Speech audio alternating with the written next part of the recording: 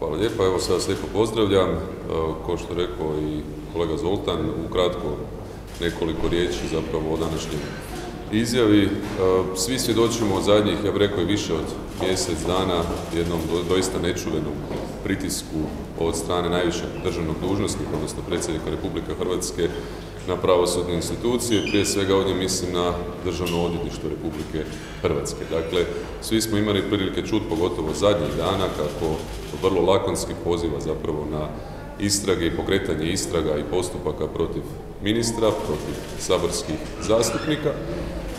Možemo to zapravo povezati, prisjetiti se njegovog načina iskazivanja postupanja u vrijeme kad nije bio predsjednik države, već kada je bio premijer, odnosno predsjednik vlade, kada je zapravo govorio da je vrlo normalno i uobičajeno da predsjednik vlade bude upoznat sa izvidima, odnosno tajnim postupcima i predistražnim radnjama, što je samom zakonom o kaznenom postupku e, protivno, dakle, tim odredbama zakona o kaznenom postupku nije uobičajeno i nije normalno.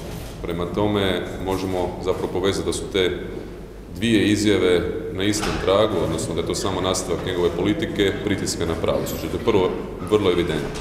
Druga stvar koju želimo naglasiti, pozivanje zapravo na rušenje vlade jučer, njegova izjava na ukidanje Ustavnog suda, u konačnici na pozivanje, ako sam dobro shvatio i razumio, na građanski neposluh, doista mislim da nije zapamćeno niti jednoj demokratskoj, ne zapadno demokratskoj, nego niti jednoj demokratskoj državi na ovom svijetu. Prema tome, mislim da je vrlo jasno i razvidno odakle dolaze pritisci na pravosuđe i da to sigurno nije ono što provlači i način na koji se sada izlači očito predsjednik države kada govori da predsjednik vlade vrši pritisak na pravosuđe. Mislim da je razvidno iz svih postupaka koji se provode, iz istraga koji se provode, dakle neću spominjati imena i prezimena osoba protiv kojih su samo nekoliko zadnjih mjeseci pokrenuti postupci gdje je potpuno jasno i evidentno kako HDZ nema nikakvi utjecaj na hrvatsko pravosuđe, što više HDZ i dalje će podupirati neovisno i samostalno pravosuđe u Republici Hrvatskoj. No dobro, jasno je da je predsjednik eh, prešao granicu i pogazio na od izme vlasti, ali nije li zapravo i premijer napravio korak više pozivom glavno državne odvjetnice? Pa vrlo jasno moramo razlučiti te dvije stvari. Dakle, ovdje se radi o kontinuitetu politike predsjednika države, dakle, koji ako pogledate njegove izjave- posljednjih mjeseci gdje vrlo jasno poziva DORH na neki način svojim autoritetom vrši pritisak na DORH da istražuje ministre, da istražuje saborske zastupnike od izjave koju je premijer stranke, odnosno predsjednik, predsjednik vlade i predsjednik stranke rekao, dakle morate imati u vidu da premijer normalno surađuje sa državnim odvjetništvom. Dakle, konkretno tema sastanka je bila postojeće i nove arbitraže koje su u tijeku, konkretno jedan slučaj na hotela, odnosno američkih investitora koji imaju jedan slučaj sa hotelom na Supetru, gdje državno odvjetništvo jest zakonski zastupnik Republike Hrvatske. Normalno je i najnormalnije da predsjednik vlade prethodno razgovara sa državnom odvjetnicom, sa DORH-om, kakav će stav zauzeti u arbitraži po tom pitanju. Prema tome, to je bila tema sastav, sastanka, naravno da se onda tu mogu provući neke druge teme. Ali on to nije tako objasnio, on je rekao da je nazvao povodom ovoga, dakle, Ja- nije nam dao nikakve ja- druge okolnosti. Dakle, tema sastanka je bila ova koju sam rekao i naravno da je informirao ovome što radi predsjednik države, da mislim da je potpuno razumljivo i da bi svatko od nas trebao reagirati na ovako postupanje predsjednika države. Ako je to nekome normalno, ja moram kao odvjetnik i kao pravnik reći da meni to nije normalno. Dobro, znači u glavnu državnu odvjetnicu mislim da ne treba informirati o izjavama koje su dostupne predsjednika države. A da li bi vi u slučaju da razgovarate u nekim temama sa državnom odvjetnicom iskoristili priliku da kažete da informirate o tome što predsjednik države radi? Mislim da je to normalno. Također. Normalni razgovor nije nikakvi utjecaj. Mislim da je, da je pritisak i utjecaj upravo ovo što radi predsjednik države. Dakle, vi konstantno svaku priliku, svaki dan, gdje god dođete, koristite da govorite koga treba uhititi, provoditi istrage protiv ministra i saborskih zastupnika, da ne ulazimo u kvalifikacije kako se obraća bilo kome komu stane na žulj, mislim da je to pritisak. Ovo sigurno nije pritisak. Predsjednik vlade rekao? Ja, mogu, ja nisam bio prisutan tom sastanku, ne mogu ja govoriti što je predsjednik vlade rekao. Pravniku jasno.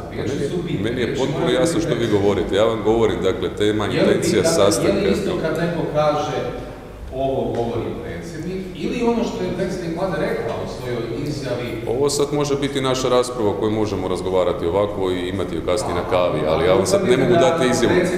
Ja vam govorim, ja vam tvrdim, ja vam tvrdim, ja vam odgovorno tvrdim, ja vam odgovorno tvrdim koja je bila tema sastanka Isto tako kažem što je rekao i sam predsjednik vlade da je informirao o tome što radi predsjednik države. Ja ne vidim riječima? Ali gospodine, otkuda ja znam koje riječi je kolega informirao koristio?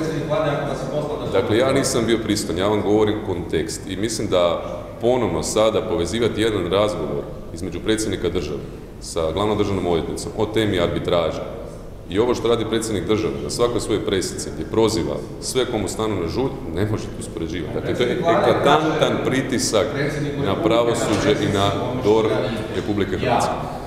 Ne možemo, te dvije, te dvije stvari, tu Nema ali ja vam samo govorim da je normalna stvar da predsjednik, predsjednik vlade i državna odvjetnica komuniciraju. To je potpuno normalno. Na koji oni način komuniciraju, to prepušteno njima. Pa ja ne mogu ulaziti, to niti sam bio pristan tom razgovoru. Pa govorimo o tome što je bila te, tema sastanka, jer ste vi povukli paralelu da je jednako ovo što radi predsjednik države i što radi predsjednik vlade, što je potpuno netočno. I to vi dobro znate. Trebamo reći da dva dana kasnije premijer nije dao takav kontekst koji ste vi dali. Naprotiv, on je rekao da je nazvao glavnu državnu odvjetnicu i rekao je da ne sluša a, pritiske a, koje, kojima je izložio nju predsjednik Republike. I zapravo da ne sluša onda niti ono što on govori da je ministar Predsjednik države koji je- neko kazneno djelo i treba biti utamničen. Predsjednik države koji je, koliko ja znam, pravnik vrlo dobro zna na koji način se treba, ako ima nekih sumnji da netko počinio kazneno djelo u ovoj državi postupiti. To se sigurno ne radi putem medija svaki dan na presicama koje saziva ili na prigodama na kojima se pojavi. To nije način. Dakle, on to kao pravnik zna. S obzirom na... O tome što je e, premijer rekao, dakle, premijer je on napravio u suprotnom smjeru neki sličan pritisak. Pritisak je što? Razgovor sa glavnom državnom odvjetnicom da je kaže da informira to nije bila tema, ja vam ponavljam, tema je bila nešto sasvim drugo i potpuno normalno. Pa ja vam kažem, da.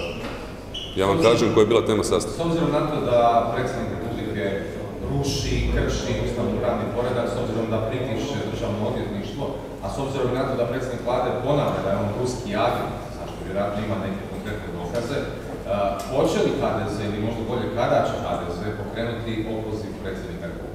To nije bila tema i neće. Treba To li, nije bila tema. treba li pokrenuti s obzirom na sve navedeno što vi tvrdite? Pa ja Dakle, mislim da će da grad- se ruši ustavno pravni poredak, da se uh, vrši pritisak na pravosuđe i da predsjednik Republike igra, odnosno čini nešto u korist druge države, ne vlastite, jesu li to dovoljni razlozi za pokretanje opoziva predsjednika Republike? Prvo ne kažem to ja, mislim da to javnost apsolutno vidi dobro što predsjednik države radi i u konačnici upravo će građanke i građani pokazati svoje mišljenje na izborima.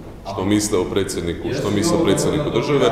Ono što nije dobro, što je predsjednik države ušao zapravo u cipe- u cipele oporbe. Dakle, predsjednik države i moj predsjednik i vaš predsjednik, predsjednik svih građanki i građana ove zemlje, a nije predsjednik samo oporbe. Jel? A on se tako ponaša. Ali jesu li ovo, dakle, kad ovo taksativno navedemo, što vi tvrdite, ne tvrdim to ja, dakle, tvrdite vi, tvrdi HDZ, rušenje ustavno-pravnog poredka, pritisak na pravosuđe i vođenje politike za korist neke druge države, rušenje ustavnog suda na konto radnog naloga koji je stigao iz Moskve, to je citat predsjednika vlade još. Jesu li to po ustavu, vi ste pravi, dovoljno valjani razlozi da se pokrene opoziv predsjednika Republike? Sve ste točno rekli, o tome nismo razmišljali. Hvala. Zašto niste?